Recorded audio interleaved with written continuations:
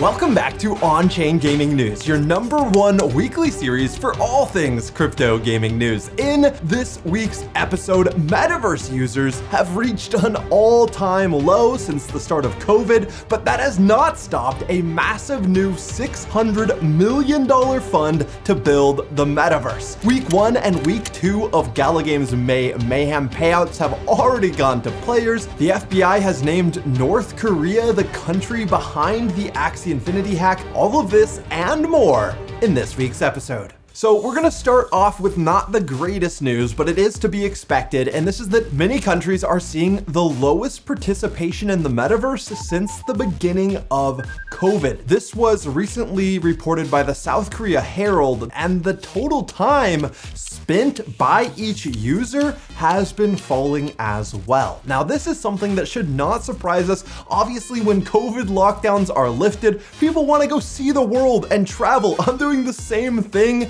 Uh, currently, while you're watching this, I am either in or just getting back from Galaverse in Europe.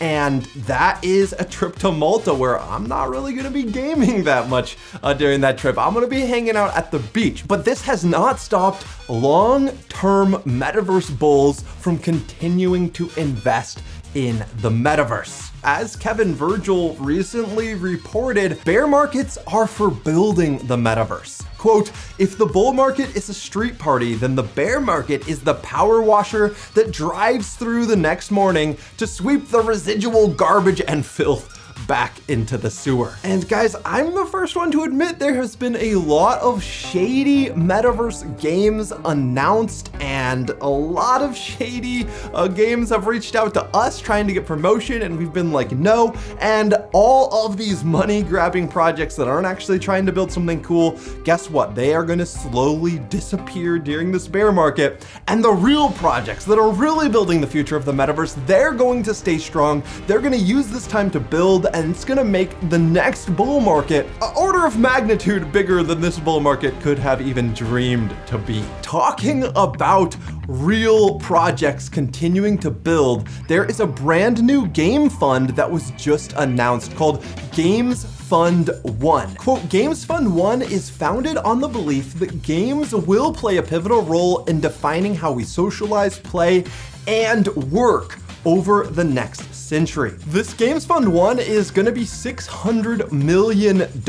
Quote, we are proud to be joined in this fund by game industry leaders and visionaries, including the founder of Roblox, the founder of Discord, the founder of Riot Games, the founder of Blizzard, the co-founder of Sky Mavis, the founder of Twitch, the founder of Zynga, and the founder of King are all coming together to build this Game Fund 1. And wow, my mind exploded by just the amount of talent here and the amount of success behind these names that are now going to be pouring the $600 million straight into building the future of the metaverse. Moving on to some stranger news that's actually becoming more and more common. Virgin Mobile is joining the metaverse, making it the very first telecommunications company to open up shop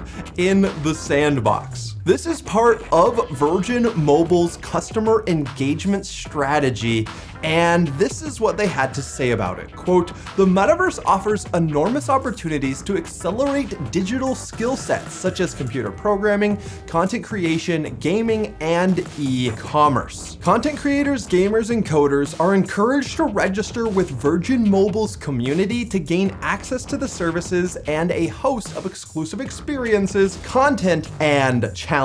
So it's really interesting that seems like so many companies are now seeing the potential potential of the metaverse, even as the number of daily users is reaching lows, the vision and people's mind opening up to the opportunities here are reaching all-time highs. One company that already has a bunch of content and a ton of challenges is our sponsor, Gala Games. And I just absolutely love what Gala Games is bringing to the metaverse. They are by far bringing some of the highest quality crypto games to the blockchain gaming space. And I think that not only is Gala already a leader, but will stay in the pole position of metaverse gaming for many years going forward. Some exciting news as May Mayhem is over. I am happy to announce that Gala has already started paying out the winners for each week of May Mayhem. The total paid out in the first two weeks of May Mayhem is already $1.525 million.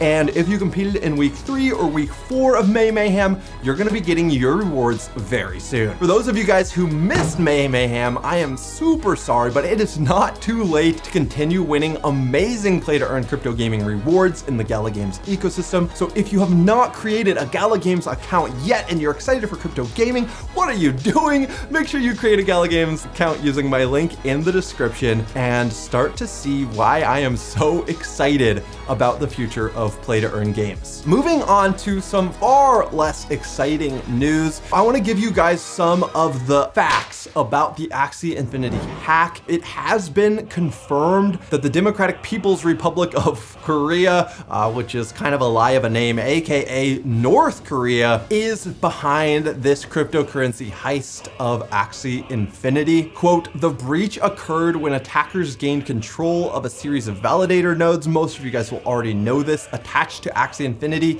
to conduct fake withdrawals. The hackers stole 173,600 Ethereum and 25.5 million USD coins worth approximately the same amount as the Game One fund that we announced beforehand. Three weeks after this initial attack and two weeks after it was disclosed, the FBI formally attributed the attack to the Lazarus Group, a nation state threat group tied to the North Korean government. So there you have it guys, North Korea is not only happy starving their own people, but they also have to starve all of us who are excited for metaverse gaming.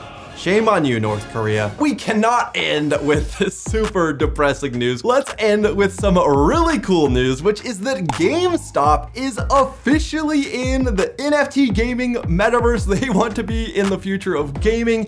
And because of that, they have just launched the GameStop wallet, which is currently in beta and works with Ethereum. The GameStop wallet will also work seamlessly with GameStop's upcoming NFT marketplace when it releases. The GameStop wallet is a non-custodial wallet, which means that you have complete ownership of everything in your unique wallet and you have a 64 digit key to access that wallet and GameStop has no control over it. So GameStop really embracing Web3 and I think that if they keep making the right decisions like it seems like they've started to make here, GameStop really does have a future and might not just be a meme stock for that much longer. If you enjoyed this episode of On-Chain Gaming News, remember to drop a big thumbs up and hit subscribe to stay up to date for all things news in the metaverse. Make sure you click another video on the screen right now to keep watching. And until next time, everyone, have fun roaming the metaverse.